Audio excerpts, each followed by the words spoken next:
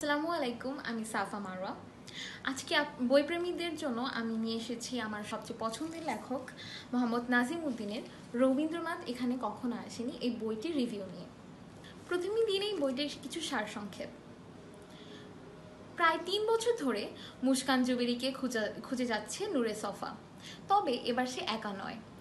প্রবল ক্ষমতাবান আরেকজন মানুষও মরিয়া হয়ে উঠেছে। রহস্যময়ী এই নারীকে খুঁজে পেতে। সেই ক্ষমতাবান প্রায় তিন বছর ধরে মুস্কান জুবেরিকে খুঁজে যাচ্ছে নূরে সফা। এবার সে একা নয়, প্রবল ক্ষমতাবান আরেকজন মানুষও মরিয়া হয়ে উঠেছে রহস্যময়ী এই নারীকে খুঁজে পেতে। সেই ক্ষমতাবানের সাহায্য নিয়ে নতুন উদ্যমে নেমে পড়েছে সফা। দ্রুতই আবিষ্কার করে মুস্কান সম্পর্কে এতদিন যা জানতো সবটাই মিথ্যে। নতুন গল্পটি বরং আরও অনেক বেশি যৌক্তিক এবং বিশ্বাসযোগ্য। এক গোলকধাতায় ঢুকে পড়ে সফা। তার কোনো ধারণাই নেই, কোন সত্যটি জানতে পারবে সে শেষে? এতদিন এই রহস্যময় নারী কোথায় ছিল?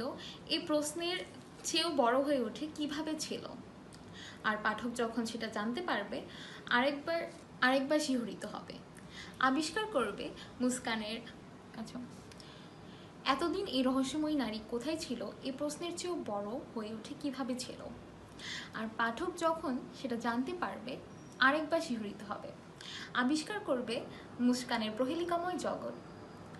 মোহাম্মদ নাজিম উদ্দিনের দুই বাংলার জনপ্রিয় এবং পাঠকপ্রিয় উপন্যাস রবীন্দ্রনাথ এখানে কখনো আসেনি। দ্বিতীয় উপাখ্যান রবীন্দ্রনাথ এখানে কখনো আসেনি। এর প্লট বিস্তৃত হয়েছে ঢাকা, সুন্দরপুর ছাড়িয়ে কলকাতা অবধি। মুস্কান জুবেরি কি মনে আছে? ওই যে সে রহস্যময়ী, যে ডিটেকটিভ নুরে সফাকে পরাস্ত করে পালিয়েছিল। তিন বছর পর নুরে সফা এখনও কাতর তার জন্য। বিরহে নয়, তাকে ধরতে না পারায়। তার হাতে পরাস্ত হওয়ার ব্যর্থতায়। কিন্তু এরই মধ্যে তিন বছর পর নুরে সফা তাকে আবার ধরার জন্য একটি কারণ পেয়ে গেল। মুস্কানের একজন ভিকটিম ছিল মহা মহাক্ষমতাধর প্রধানমন্ত্রীর পিএস এর ভাগ্নে। পিএস ব্যক্তিগত কারণে উঠে পড়ে লেগেছে তার ভাগ্নের খুনেকে ধরতে।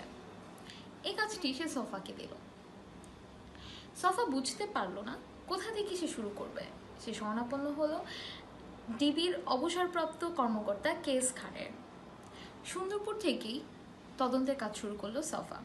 সেখানে আগে রহস্যে ঘেরা রেস্টুরেন্টের জায়গায় গড়ে উঠেছে এক লাইব্রেরি। এই জায়গা থেকে মুস্কানকে ধরার বড় ধরনের এক ক্লু পেয়ে গেল সফা।